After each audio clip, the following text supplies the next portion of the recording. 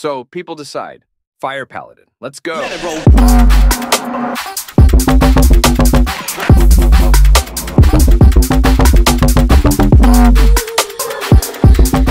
First, before we even bother showing this build, you need to understand what is Paladin in games.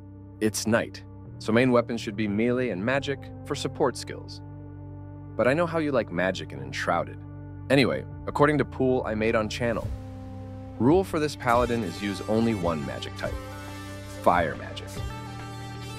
So our main attack skill is Fireball supported by Channel Healing, Light Blast, Oh Shit Spiel. So I prepared most universal equipment for this build, and its combo of Radiant Paladin and Soldier to boost you defensive, melee attack, and HP. There is no sense use special equipment for magic skills boost. All boost comes from skill tree, and they are enough to keep this build running. As for rings, there are two choices.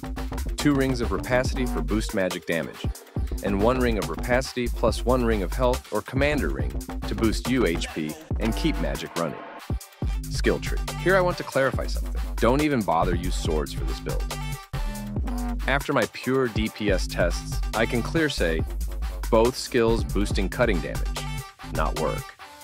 In other side, both skills for blunt damage works and skills from Barbarian Tree should work only for two-handed weapons, but work also for blunt one-handed weapons.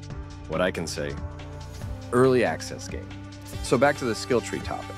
I prepare for you three variations of skill tree. First, Glass Cannon Paladin. This skill tree boosts both melee and magic damage, but sacrifice defensive. You base only on healing from damage and potions and bandages. But in other side, you have best melee and magic damage. Next, Defensive Paladin. This skill tree focus on magic damage and defensive, but sacrifice melee damage. In my opinion, this option will work best in multiplayer. In solo gameplay, you receive really tanky mage and knight armor. It's for all enshrouded magic enthusiasts from comments. Last, Flameborn Paladin. This skill tree focus on melee damage and def, and use all magic as support, as Paladin lore says. Food and buffs.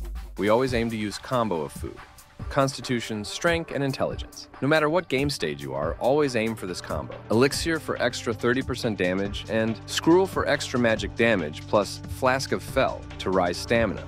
You can always take to fight Fire Wisp Scroll. They drop at endgame like crazy.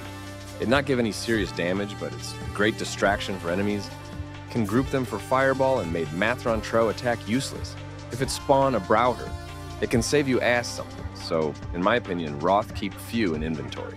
Weapons, best will be Gore Seeker plus Mirage for areas outside Shroud. In shrouded areas, best work, Shroud Weaver and Fearsome Club combo. Sadly, there are no good blunt weapons focused on fire damage yet, unless you mod them. But I need to make separate video about this topic, so don't forget to subscribe and not miss out that video. Yes, there are mods for Enshrouded, and it's crazy topic.